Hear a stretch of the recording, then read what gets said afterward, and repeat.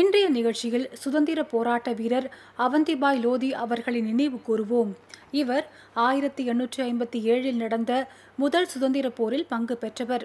அவந்திபாய் லோதி ஆயிரத்தி எண்ணூற்று முப்பத்தி ஓராம் ஆண்டு ஆகஸ்ட் மாதம் பதினாறாம் தேதி மத்திய பிரதேசத்தில் உள்ள சியோனி என்ற ஊரில் பிறந்தவர்.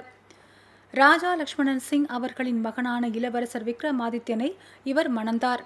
கணவரான அரசர் உடல்நலம் இல்லாத நிலையில் இளவயது மகனான அமர் சிங்கின் பொறுப்பில் நிர்வாகம் வந்தது. இதையடுத்து ராணி அவந்திபாய் லோதி நிர்வாகத்தை தன் பொறுப்பில் எடுத்துக்கொண்டார் ராஜா விக்ரமாதித்ய சிங் ஆயிரத்தி எண்ணூற்றி ஐம்பத்தி ஒன்றில் காலமான போது பிரிட்டிஷ் அரசாங்கம் ராம்கர் மாநிலத்து நிர்வாகத்தை அவந்திபாயை அலட்சியம் செய்து காப்பாயத்தின் பொறுப்பில் விட்டது. பிரிட்டிஷ் அரசாங்கத்தின் இந்த செயலை ராணி அவந்திபாய் லோதி கடுமையாக எதிர்த்தார்.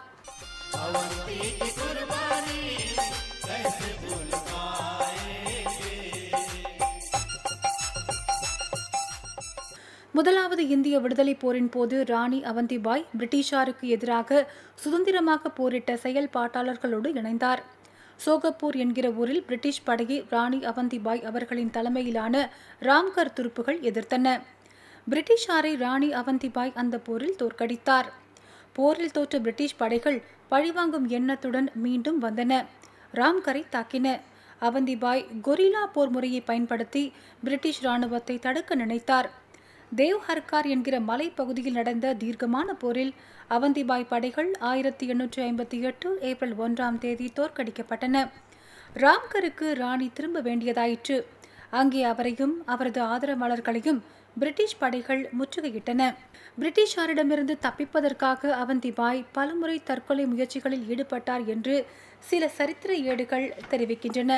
வேறு சில சரித்திர ஏடுகள் அவர் பிரிட்டிஷாரால் சிறைப்பிடிக்கப்பட்டு ஆகஸ்ட் மாதம் ஆயிரத்தி எண்ணூற்றி ஐம்பத்தி எட்டாம் ஆண்டு காலமானார் என்கின்றனர். அவந்திபாய் லோதி அவர்கள் நாட்டுப்புற பாடல்களால் இன்றும் நினைவு கூறப்படுகிறார். அவர் மக்களை தொடர்ந்து ஊக்கமூட்டி வருகிறார். அந்த மாபெரும் சுதந்திர போராட்ட வீராங்கனைக்கு நமது வணக்கத்தை செலுத்துவோம். இன்றைய நிகழ்ச்சியில் தியாகி அனந்த சரண் மாலிக் அவர்களையும் நினைவு கூறுவோம். ஆயிரத்து தொள்ளாயிரத்தி முப்பதாம் ஆண்டு ஏப்ரல் மாதம் ஒன்றாம் தேதி காலமான ஆனந்த் சரண் மாலிக் கல்கத்தாவில் தரம் டோலா பகுதியில் இருந்த ஒரு கடைக்காரர் ஆவார். சரண் மாலிக் மக்கள் திரளுடன் இணைந்து பிரிட்டிஷ் நிர்வாகம் நடைமுறைப்படுத்திய புதிய வணிக விதிமுறைகளை எதிர்த்தார். இந்த புதிய விதிகளால் தங்கள் வாழ்க்கை மோசமாக பாதிக்கப்படுவதாக அதிருப்தி அடைந்தனர். எனவே அந்த புதிய விதிகளை ஆட்சேபித்தனர். அதனால் அவர்கள் ஒரு போராட்டத்தை நடத்த துணிந்தனர். ஆயிரத்து தொள்ளாயிரத்தி முப்பது ஏப்ரல் ஒன்றாம் தேதி தங்களது வண்டிகளை அதிலிருந்த மாடுகளை அவிழ்த்து விட்டுவிட்டு சாலைகளில் நிறுத்திவிட்டனர். முக்கியமான சாலையில் இருந்த வண்டிகளை அகற்றுவதற்காக காவல்துறை பலப்பிரயோகம் செய்தது. அதனால் அந்த சாலை ஒரு போர்க்களமானது. எதிர்த்து போராடுகிற வண்டிக்காரர்களுக்கு ஆதரவாக பொதுமக்களும் அதிக அளவில் திரண்டு விட்டனர். கூட்டத்தை கட்டுப்படுத்த முடியாத காவல்துறை கூட்டத்தை நோக்கி சுட்டது. இதில் ஆனந்தசரன் மாலிக் உட்பட அறுவர் இறந்தனர். அந்த மாபெரும் மண்ணின் மைந்தருக்கு வணக்கத்தை செலுத்துவோம். இன்றைய நிகழ்ச்சியில் தியாகி வாரியம் சிங் அவர்களின் நினைவு கூறுவோம். அவர் ஆயிரத்து தொள்ளாயிரத்தி இருபத்தி ஐந்து பிரார்த்தனைக்காக கூடுவதை தடுக்கும் பிரிட்டிஷார் பிறப்பித்த ஆணையை எதிர்த்து நடந்த பதினோராவது ஷாகிதி மோர்ச்சாவிலிருந்து நவ்ஹாவின் ஜெய்டா குருத்வாரா கங்கர் அகிம்சை ஊர்வலத்தில் கலந்து கொண்டார். அவர்களது ஊர்வலம் ஜெய்தோவை அடைந்தபோது பிரிட்டிஷ் படை ஊர்வலத்தை தடுத்து நிறுத்தி நடத்தியது. ஊர்வலத்தில் பங்கேற்றிருந்த ஏராளமான பேரை பிரிட்டிஷார் கைது செய்தனர்.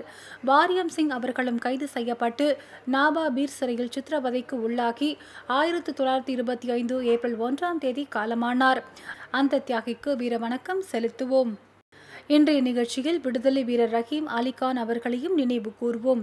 ஆயிரத்தி எண்ணூற்று ஐம்பத்தி ஏழில் நடந்த முதல் இந்திய விடுதலை போரில் சுதந்திரமான செயல்பாட்டாளர்களுக்கு இவர் தலைமை தாங்கினார். பிரிட்டிஷாரால் கைது செய்யப்பட்ட அவர் அந்தமான் தீவுகளுக்கு ஏழு மார்ச் ஆயிரத்தி எண்ணூற்று ஐம்பத்தி ஒன்பதாம் ஆண்டு நாடு கடத்தப்பட்டார்.